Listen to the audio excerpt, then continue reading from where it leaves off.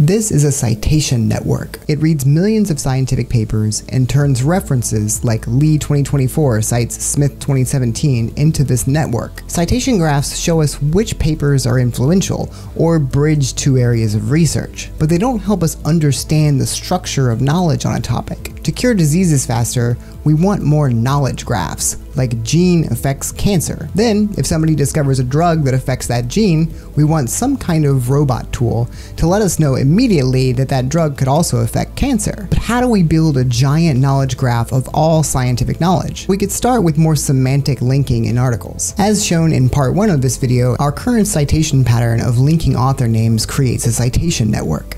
But if we hyperlink the meaningful text in articles, it's easier for robots to follow a link from one paper to treatments to another paper to trials and data. It's closer to a knowledge graph and still includes the citation graph. But how do we get this adopted?